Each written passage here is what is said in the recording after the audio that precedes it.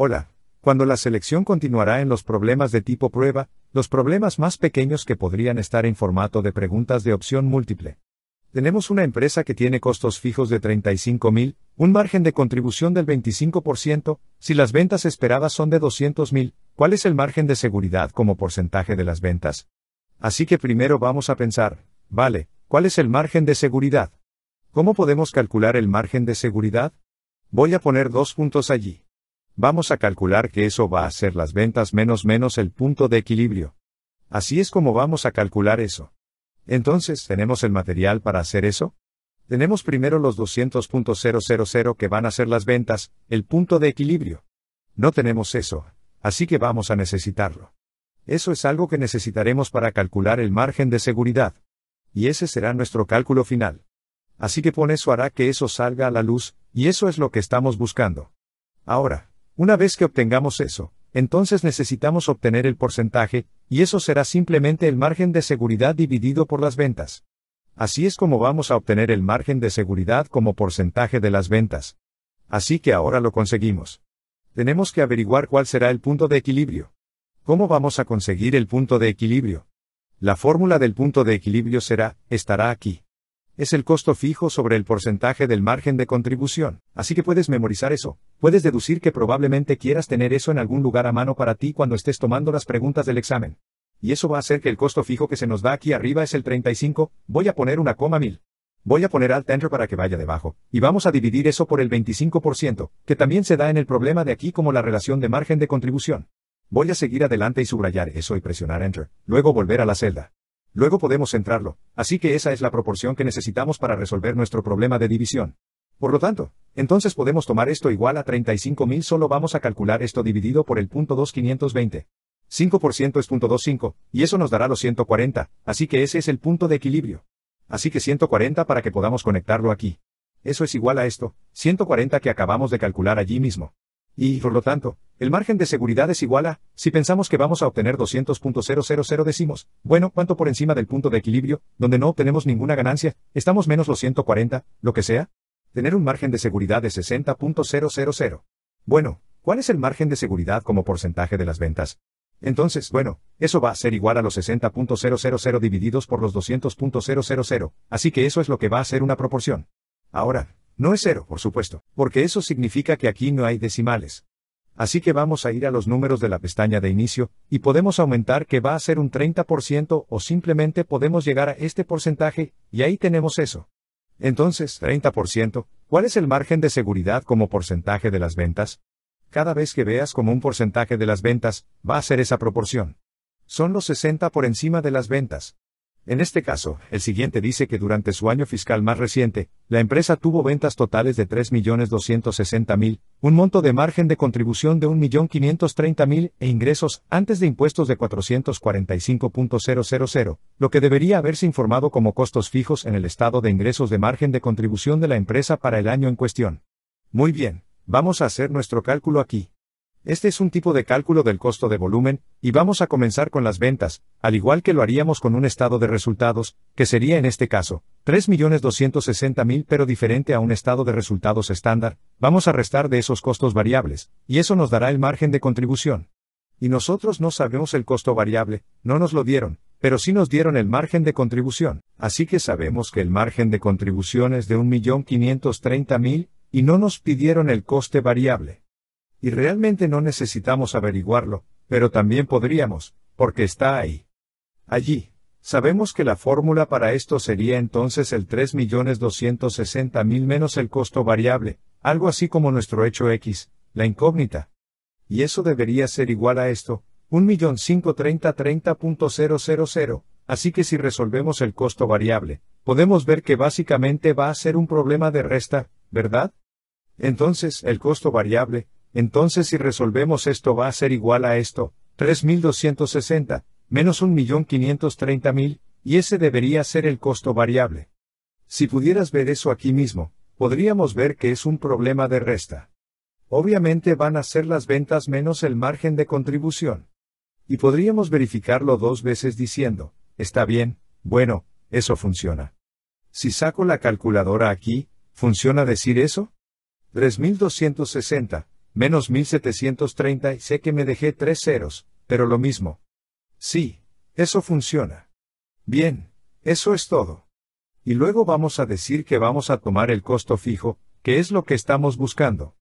No lo sabemos, y luego tenemos los ingresos antes de impuestos. Es algo así como el ingreso neto, el ingreso neto antes de impuestos, así que nos dieron ese número. Así que, una vez más, nos estamos metiendo en un número.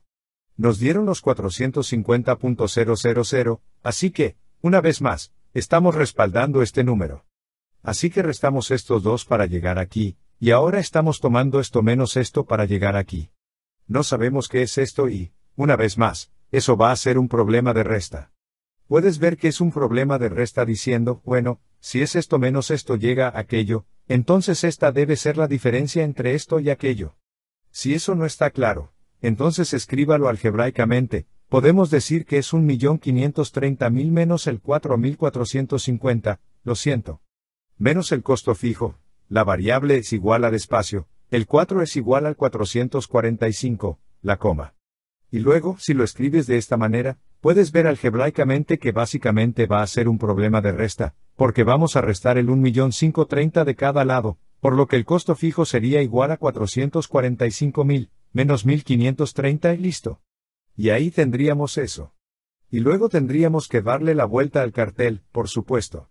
Así que vamos a darle la vuelta al signo diciendo negativo de eso. Así que te dejaré hacer los cálculos en eso. Pero puedes ver, por supuesto, si conectamos eso aquí, si decimos que esto va a ser igual a este número menos este número, entonces eso es todo. Y entonces podemos volver a verificar nuestro trabajo sacando la calculadora y diciendo, muy bien, ¿eso funciona?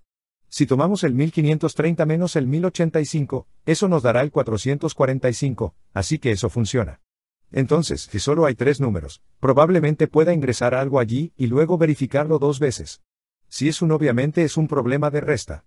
En este caso, el siguiente dice que una empresa espera vender 25.025.625.600 unidades de su producto a 18 dólares por unidad. Se prevé que el ingreso antes de impuestos sea de 60.600. Si el costo variable por unidad es de 9 dólares, el costo fijo total debe ser lo que está bien. Así que podemos, podemos desglosar esto y poner lo que sabemos aquí. Una vez más, vamos a tomar nuestras ventas menos nuestro costo variable que nos dará nuestro margen de contribución menos el costo fijo que nos dará básicamente nuestros impuestos de ingresos netos. Así que por el lado de las ventas, vamos a empezar con las ventas, y tenemos expectativas firmes de vender 20 unidades. Así que tenemos unidades que vamos a tener, y luego el costo por unidad, así que tendremos el costo, así que las unidades y el costo, y luego tendremos el total, ¿verdad? Así que tenemos que hacer este cálculo aquí. Así que conseguimos 25, 6 unidades. Cuestan 18. Lo siento, y esto es ventas de costo o costo. Va a ser una cosa o la otra. Podemos seguir adelante y centrarlos, si queremos, ir a la pestaña de inicio yendo al centro, y podemos ponerlo en negrita, está bien. Así que obtuvimos que esto es igual a 25, 6 por 18. Así que tienen 25 6 unidades por 18. Eso significa que vamos a tener ventas de 460.800 de costo variable. Recuerde que esos cambian en relación con el número de ventas. Es por eso que lo estamos dividiendo de esta manera, en lugar de un estado de resultados estándar, porque podemos hacer este tipo de estimación, estimación de esta manera. Así que vamos a decir, está bien, el costo variable para las 256 unidades va a ser de 9 dólares 9 dólares por unidad. Eso se nos da aquí. Por lo tanto, los costos variables van a ser los 25, 600 por 9. Ese es el costo por unidad. Y ahí lo tenemos. Y luego vamos a decir menos que va a ser el margen de contribución. El margen de contribución va a ser igual al precio de venta menos el costo variable, y ese es nuestro margen de contribución. Así que pondré un subrayado allí. Y luego lo que hacemos es restar el costo fijo. Así que recuerde, solo hay dos tipos de costos. Estamos viendo aquí, dividiéndolos entre variables y fijos. El costo fijo es la incógnita. Eso es lo que no sabemos. Vamos a seguir adelante y subrayar que lo que nos dieron, una vez más, es que nos dieron el número final, que iba a ser el ingreso. Por lo tanto, se trata de ingresos antes de impuestos, así que vamos a decir, el ingreso va a ser esto menos este número. Pero no sabemos ese número, así que no podemos hacerlo todavía.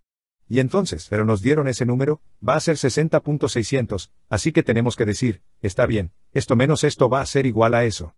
Y obviamente, de nuevo, eso va a ser un problema de resta. Es como si lo pudieras ver. Se puede decir, bueno, sí. Esto menos esto va a ser igual a eso.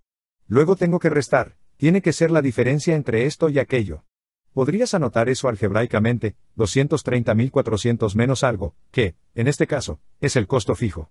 Esa es nuestra incógnita igual a 60.600, por lo que podríamos verlo algebraicamente, estamos resolviendo los costos fijos, lo que significa que tenemos que restar esto de cada lado, lo que nos dejará con un negativo, y luego tendremos que quitar el negativo de cada lado. Así que voy a hacer el problema de la resta y decir que el costo fijo es igual al voy a hacer los 200 y lo que sería algo como esto. Podríamos decir que es el negativo voltear el signo de 60.600 menos el de 230.400, así que di un par de pasos en uno y ahí, y hay un problema de resta, así que podemos ver que es un problema de resta aquí. Básicamente, vamos a decir que son los 230.400 menos los 60.600, y no hay ningún problema real para hacer una estimación si no estamos totalmente seguros, porque podemos verificarlo dos veces y decir, bueno, ¿Eso funciona? 230.400 menos los 169.800, ¿es eso igual? 60.600 lo hace. Está bien. Parece que está bien. El siguiente dice que durante marzo, la empresa espera que sus ventas totales sean de 163.000, su costo variable total sea de 95.3 y su costo fijo total sea de 25.3. El margen de contribución para marzo es por lo que este será nuestro mismo cálculo. Vamos a empezar por las ventas. ¿Cómo calculamos el margen de contribución?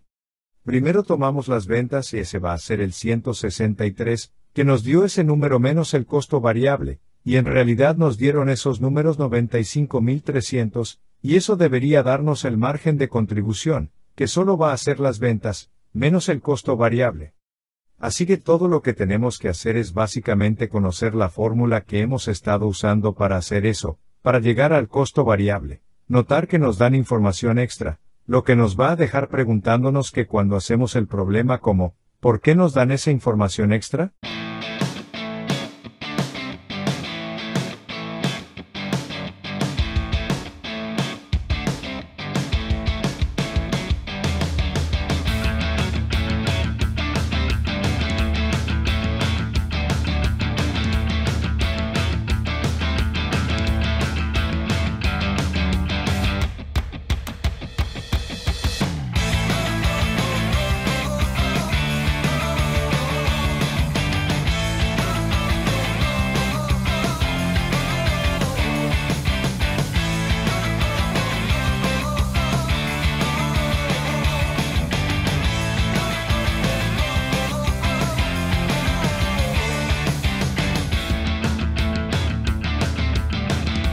Entonces, el margen de contribución por unidad va a ser lo que obtendremos. Los vendemos todos 12.02 a dólar y cuestan 5 dólares con 3 centavos. Por lo tanto, nos vamos después de los costos variables con 6 dólares con 99 centavos por unidad que vendemos.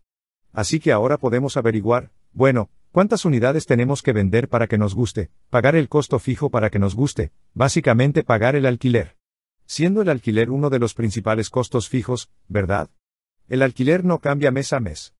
Entonces, ¿cuántas unidades después del costo variable tenemos que pagar para cubrir esto? Entonces, para hacer eso, vamos a tomar el costo fijo de 97.900 y dividirlo por el margen de contribución por unidad. Digamos que es igual a esta celda, que es este 699, vamos a dividir esas dos. Así que vamos a tomar los 97.9 divididos por los 6,996 dólares con 99 centavos, lo que significa que vamos a tener que vender unos 14.005 y obviamente tener en cuenta que, ya sabes, no se divide en partes iguales.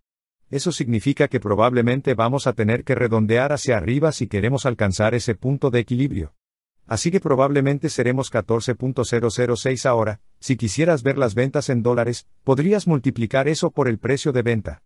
En este caso, si pedían las ventas en dólares, que eran 12.02 por unidad. Así que esta es la cantidad de unidades que necesitamos hacer multiplicada por el precio de venta. Y entonces podríamos llegar a los dólares que sería, esto multiplicado por 12.02, luego serían las ventas en dólares. El siguiente dice que la venta de un producto a 260 por unidad, y su costo variable por unidad es de 189, los costos fijos son 432 mil si la empresa quiere obtener 38 mil 20 ingresos antes de impuestos. ¿Cuántas unidades hay que vender? Bien. Así que esto va a ser similar al punto de equilibrio en unidades, pero ahora solo vamos a agregarle la cantidad de ganancia que queremos obtener. Así que lo primero que tenemos que hacer es obtener el margen de contribución por unidad. Entonces, lo que vamos a hacer es tomar las ventas por unidad, y eso es que vamos a hacer los 260, que es por cuanto vendemos nuestros artículos en este caso, y luego vamos a tomar el costo variable por unidad, porque esas cosas cambian de una manera similar, a diferencia del costo fijo, y ese va a ser nuestro margen de contribución por unidad. Así que vamos a restar eso. Vamos a tomar el margen de contribución de 260 menos el margen de contribución de 189 por unidad. Ahora recuérdalo en términos del costo fijo, el punto de equilibrio en unidades. Acabamos de tomar el costo fijo dividido por esto, que es la cantidad de dinero que nos estamos alejando después de cada venta de unidades. Así que tendría sentido decir, bueno, si el alquiler es el alquiler, entonces ¿cuántas de esas unidades tenemos que pagar para vender? Para básicamente pagar los costos fijos que sabemos lo que van a suceder ahora, la única diferencia cuando proyectamos el ingreso es que vamos a tomar el costo fijo, que nos dieron para que sea 430, 2000 y le vamos a sumar los ingresos que queremos ganar. Queremos obtener ingresos antes de impuestos. Estamos estimando 38.020, tuvimos que sumar esos 20 por alguna razón así que eso probablemente va a estar bien. Y luego eso significa que si lo sumamos, entonces vamos a decir, este va a ser el 432 más el 3820 que este es el número que tenemos que superar con nuestras 71 unidades. Así que tenemos que decir, ¿cuántas unidades tenemos que vender para que las 71 sumen esto 470.020, y ese va a ser el margen de contribución por unidad. Aquí está el 71 y luego vamos a dividir esto. Así que vamos a dividir esto, vamos a decir que esto es igual a 470.020 dividido por el margen de contribución de 71 por unidad significaría que tendríamos que vender alrededor de 6.620 unidades si queremos saber cuántos ingresos en dólares necesitaríamos para hacer esos 38.020 ingresos netos antes de impuestos, podemos multiplicar por el precio de venta. Vamos a venderlos por 260 recuerden aquí arriba, y eso significa que necesitaríamos ingresos de 6.620 veces los 260 de 1.721.200 empresas. El punto de equilibrio en unidades es 1.700, el precio de venta por unidad es 12 y el costo variable por unidad es 9. Si la empresa vende 3.900 unidades, ¿qué es la utilidad neta? Así que vamos a hacer nuestro cálculo para el ingreso neto. Vamos a tener nuestros tres encabezados, sin embargo, van a ser el número de unidades que tenemos. Luego vamos a tener el precio de venta y el costo por unidad, y luego vamos a tener el total aquí. Así que esto va a ser lo que tenemos. Voy a ponerlo en negrita.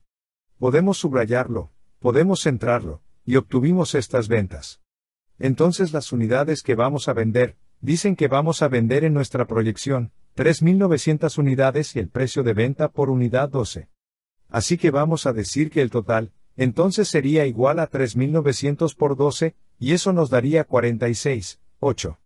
Luego tenemos el costo variable. Así es como calculamos dentro de este cálculo, y vamos a decir que el costo variable por unidades es de 3.900 unidades nuevamente, y los costos variables son 9. Por lo tanto, vamos a decir que esto es igual a los 3 9 veces el costo de 9 dólares por unidad y eso nos dará el costo variable total, 35.100. Esto nos da el margen de contribución. Así que el margen de contribución de nuevo, 3, 900 unidades, y podemos obtener el margen de contribución por unidad. Voy a seguir adelante y subrayar esta pestaña de inicio. El margen de contribución por unidad sería igual a 12 menos 9. Entonces, después de cada unidad que vendemos, nos vamos con 3 dólares y creemos que podemos calcular esto de dos maneras. Podemos decir que queremos el 8646 menos el 351, y eso nos dará el 117. También podríamos haber calculado diciendo que queremos que los 39 por 3, el presupuesto de contribución por unidad obtenga el 11, 7. Ahora, lo siguiente que necesitaríamos son los costos fijos. Los costos fijos, eso es lo que no saben. Donde no nos dieron los costos fijos. No sabemos cuáles son los costos fijos, y eso nos daría el número final aquí, que va a ser el ingreso neto, y el ingreso neto, no lo sabemos tan bien. Eso es lo que estamos buscando. Entonces, una pregunta, ¿cómo podemos retroceder en este costo fijo? ¿Cómo podemos obtener ese número? El siguiente cálculo que nos dieron, nos dieron que el punto de equilibrio está en unidades, 1700 para que podamos echar un vistazo a ese cálculo.